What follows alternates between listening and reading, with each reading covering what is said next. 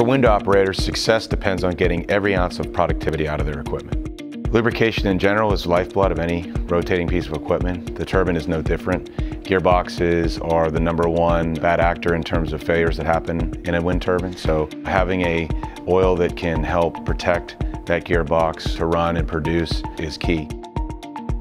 When you have to go up tower and intervene with the piece of equipment, there's always opportunities for things that could be detrimental to the turbine and in the worst case to the operators.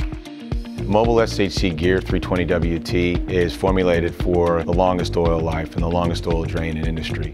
What that gives operators is the peace of mind to not have to intervene with that piece of equipment and achieve their productivity goals. There are alternative strategies out there that use what we call top treating. We're essentially taking a additive package and adding it to the lubricant with the expectation it's going to produce a longer oil drain interval.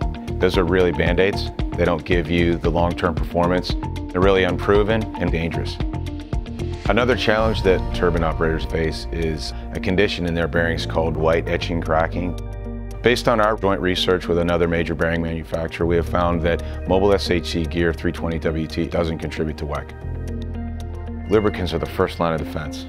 There really is no strategy that's going to beat something that's built for the long-term performance profile. Mobil SHC Gear 320WT was built with the long term in mind.